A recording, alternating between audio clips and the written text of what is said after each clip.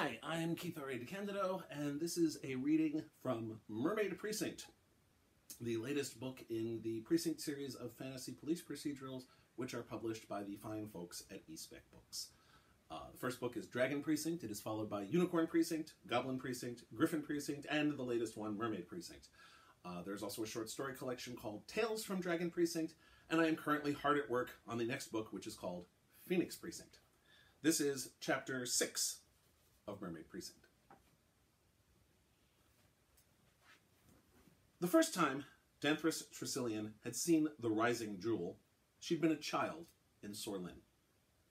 She'd been standing on the cliffs that overlooked the Garamin Sea with her adoptive sister Lil, and the pair of them had watched in awe as this big, beautiful boat, topped by a foreboding black flag, appeared out of the fog and slowly settled in among the reefs. What is that? She'd asked, eyes wide with disbelief. It's a boat, Lil had replied with a twinkle in her eye. Very funny. I know that it's a boat. What's it doing there? Crashing and sinking if it's like every other boat that's tried to approach from the Garamin. Part of why Sorlin had been founded on the Cone Peninsula was due to its coastline being a cliff above rocky reefs that were death on small boats and very damaging to large, large ones. However, the Rising Jewel hadn't crashed or sunk, to Lil's surprise. Rowing, it rowing toward it now on the dinghy, approaching it directly from the sea, it loomed larger in Danthres's vision than it had from atop the peninsula cliffs back then. As the dinghy approached, Danthres suddenly felt a tingle all up and down her body. Her partner, Torin ban Wyvald, shivered, so he obviously felt it as well. What was that? Listen smiled. I told you the ship is quite heavily warded. Gazing at Danthres, Torin said, If the wards are so intense that we're feeling them, I shudder to think how Benin would respond. Poorly. Danthres was, if anything, understating it. The wizard Benin was cranky under the best of circumstances, and being confronted with wards of sufficient power that non mages could feel them would be the worst of circumstances for him. Someone on the deck threw a rope ladder over the side, and it bounced off the hull with a thunk. Listen pointed at the ladder. After you, lieutenants. Torin shook his head. After you, I would say. Danthres sighed. On the one hand, yes, this was a pirate ship, but Torin was taking his mistrust to an absurd extreme. He continued, I suspect that your shipmates will be far more comfortable having the first face onto the deck being a familiar one, rather than two armed and armored members of the local law enforcement. At that, Danthres relented. My partner is correct. Shrugging, Listen said, As you wish, I was merely attempting politeness. Hence our confusion. Torin grinned, a sight that still disconcerted Danthres without a huge red beard surrounding it. We encounter very little of such in our line of work. Listen chuckled.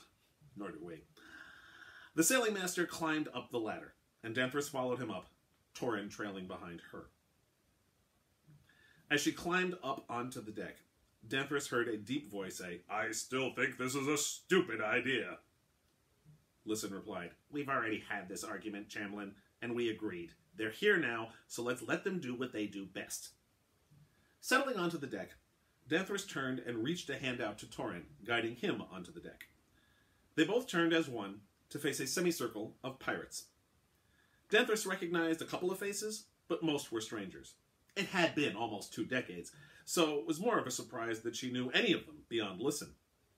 Though the deck was bucking and bouncing with the tide while the ship was anchored, they all stood steadily. Danthres couldn't really stay the, say the same. She struggled to keep her footing, and she could see that Torin was having similar difficulties. At the center of the semicircle, which was effectively blocking the two detectives from actually going anywhere on the vessel, was a gnome with dark hair and a deep scowl. Pointing at the pair of them, Listen said to the gnome, These are the detectives, uh, Lieutenant Danthres Tresyllione and her partner, Torin ban Wyvald. Lieutenants, this is Chamblin, the quartermaster.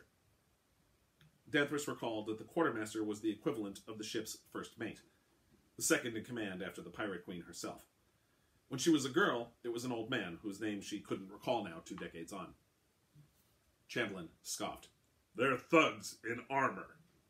They're more than that, Listen said. Danthres used to live in Sorlin, and I knew her then. So did the captain. And Lieutenant ban Wyvald is from Miverin. Miverin's full of shit suckers. Torin stepped forward, then stumbled. Danthres grabbed his arm to keep him from falling to the deck. Thank you, he said to her, then looked back at Chamblin. I agree with that assessment, which is indeed why I left. Several of the pirates chuckled, though Chamblin, Danthres noticed, was not one of them. She wasn't sure if they were making light of their unsteadiness afoot or Torin's rejoinder. The point, Listen said, is that he was raised there and attended the Collegium. I can vouch for Danthres, and ban Wyvald's pedigree speaks for itself. And what will they tell us? That the captain's dead? We already know that. They'll tell us who did it, so he may be punished. I doubt that. In case your doubts prove fruitless, Danthres said, we should see the body. For a moment, Danthres feared that Chamblin would not allow the semicircle to be broken, and they'd be told to climb back down the ladder. Worse, Chamblin might do as Torin had feared and take them prisoner. He obviously didn't want them there, and his wishes would override those of Listen in theory, since he was now in charge. Torin then moved back toward the rope ladder, falling more than stepping to the railing and grabbing it for purchase. Come, Danthres, it's obvious that our services are not required here. Where do you think you're going, shitsucker? Back to Cliff's End. I shouldn't be surprised that you don't wish our aid. After all, we serve the cause of justice, and I see very little of that in the lives you've chosen to lead. A susurrus of anger flew through the assembled pirates, and Chamblin's scowl deepened, an action Danthres wouldn't have considered possible a moment earlier. One of the crew asked, You don't think we want justice for the captain? Well, I think some of you do. Enough to have overridden the wishes of this gnome, who obviously doesn't want us here. But that discussion has already been had, or Listen would never have come to fetch us in the first place. So I can only conclude that something has changed and that we are no longer needed or wanted. Therefore, Chamblin stepped forward. Stop! You really are from Mivering. You talk just like those shit suckers. He turned, nodded to the assembled pirates, and they all stepped away, returning to their duties. I agreed to let you find her killer, and I will abide by that agreement, but I have no intention of liking it. That last was said with a sneer at the sailing master. Listen, for his part, was completely unabashed, which Danthres appreciated. Pointedly looking away from Chamblin, Listen said, Now let's go. She's in her cabin. The two pirates led the way across the deck to a staircase below. Torin and Danthres followed behind, holding on to whatever they could to keep from falling gracelessly to the deck. As they walked, Chamblin said, We first realized something was wrong when the captain didn't report for first watch. Captain always reports for first watch and is never late, Listen sighed. Or never was late, anyhow. The staircase and the corridor it emptied onto were barely narrow enough to accommodate the diminutive form of the quartermaster. Danthres found she had to walk sideways in order to fit, and Torin did likewise. The cramped corridor, at the very least, made it less likely that they would fall down with the bouncing deck. Came down here to her cabin to see what was wrong. I knocked and she didn't answer. Then I opened the door. She didn't lock it? Torin asked. Listen shook his head. She never did. Said her door was always open. She also said, Chamblin added, that the whole boat was her quarters. This space was just where she slept.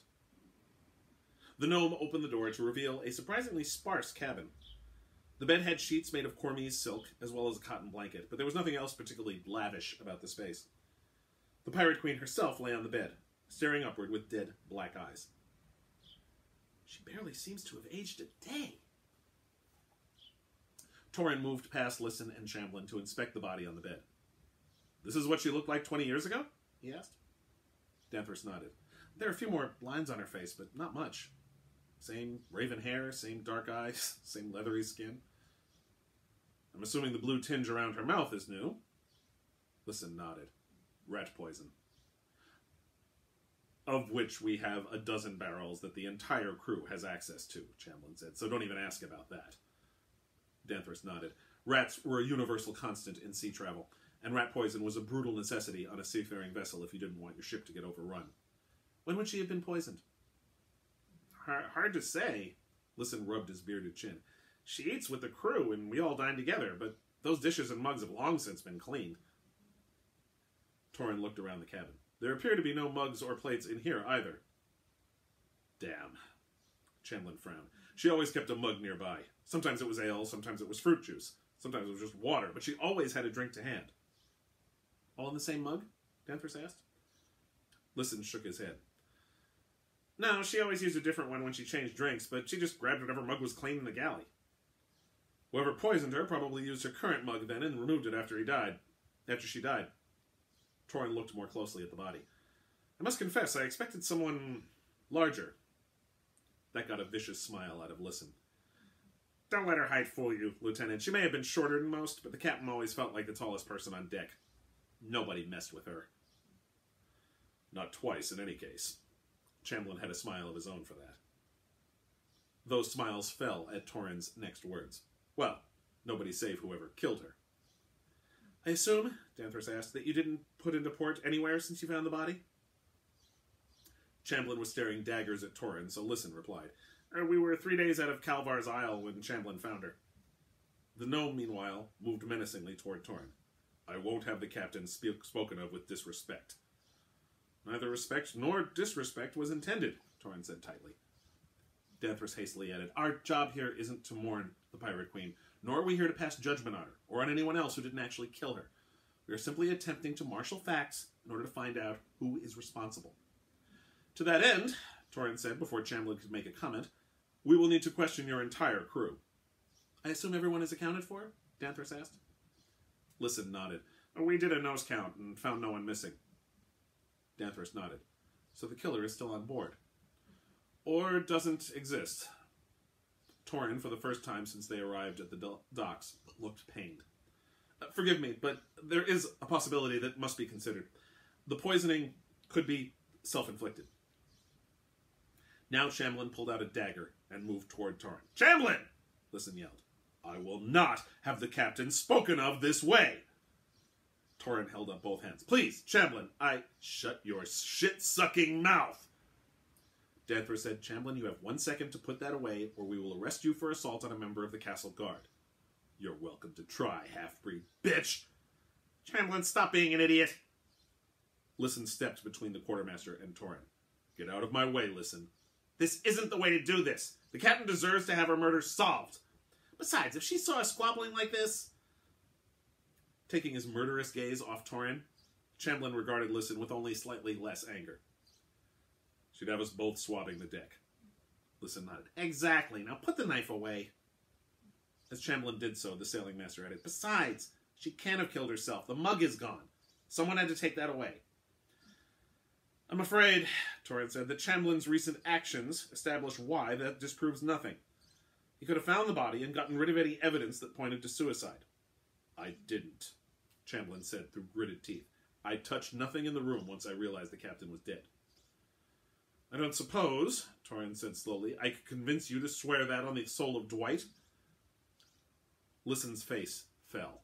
Danthres winced. Chamblin's dagger came back out. How dare you! Before he could move forward, Listen put a restraining hand on Chamblin's shoulder. Easy, Chamblin. He doesn't know. My apologies if I stepped on a custom, Torin said quickly. I've only just learned of this oath. Danthres said, It's all right. One never requests the oath, Torin. It must be given voluntarily. If it's requested, it's meaningless. Again, my apologies, sir. I spoke out of ignorance of your customs. Torin bowed his head just before the ship bounced from the tide and he stumbled into the bulkhead. To Danthres's relief, Chamblin notably shifted posture at Torin's use of the word sir, as well as from the respectful tone in her partner's voice. Indeed, Torin was usually far more polite and deferential to witnesses than this, and she was glad to see it making a belated return. Apology accepted, Chamblin said as he sheathed the dagger. As is your word that you remove nothing from this room. Torin said that with another bow of his head. Thank you, Chamblin said. I believe you mentioned something about talking to the crew. Our complement currently numbers 47. Well, he turned to look at the bed. 46 now. Danthres shot the quartermaster a look. I remember each boat having at least 70 when I was a child. Times change, Chamblin said. Listen smiled. We've grown more efficient with time, and many of our duties are reduced as our reputation often precedes us allowing us to perform tasks with efficiency and dispatch. How fortunate for you. Torin had returned to the disdainful tone to Danthres's annoyance. She looked at him. Twenty-three each? Torin nodded. Do you have two rooms we might use? Yes, of course. Listen moved toward the door. Come this way. You'll also need to dock the Rising Jewel, Danthres said. Chamblin shook his head. That's out of the question. I wasn't making a request, Danthres turned to face him and loomed over the gnome as much as she could, which was quite a bit, as she was tall even by the standards of her father's people, and Chamblin had the usual lack of height found in gnomes. We need to make sure that nobody leaves the ship. The easiest way to do that is for you to dock, and then we'll have Bonin magic the area around the ship, beyond the influence of the wards, but still surrounding them to keep everyone on board. And also nearby for follow up interviews. Proving to be utterly unintimidated by Danthres, disappointing her as she prided herself on being able to scare the shit out of people on a regular basis, Chamblin said, I'm sorry, but that just isn't possible.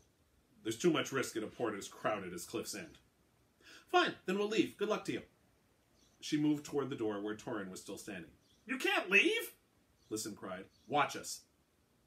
Danthres stopped and turned to face him. The Pirate Queen died at sea. You said you were, what, three days out of Calvar's Isle? Listen nodded. That, Torin said, is well beyond the castle guard's jurisdiction.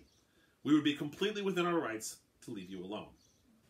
So if you want our help, you do things our way, Danthres said. If you don't, then you may go ahead and sail on with a murderer on your boat. An uncomfortable silence hung over the Pirate Queen's cabin for several seconds. But that Danthres was firm in her demand. If nothing else, she was half convinced that the murderer had already leapt overboard since the nose count, and they'd figure out who it was when that person didn't show up for an interview. In case that didn't happen, though, she wanted the Rising Jewel in dock. Finally, Chamblin said, Sailing Master, listen. Would you be so kind as to set sail for the Cliff's End docks? Bring her to the same spot you brought the dinghy, Danthres said. That's the dock extension. It's still under construction. It's a bit rough, but if you can handle the rocks and reef by Sorlin, you can handle that. And it's enough away from the other boats that you should be left alone, especially once Benin ensorcels you. If he can, Torin said. Those are quite powerful wards.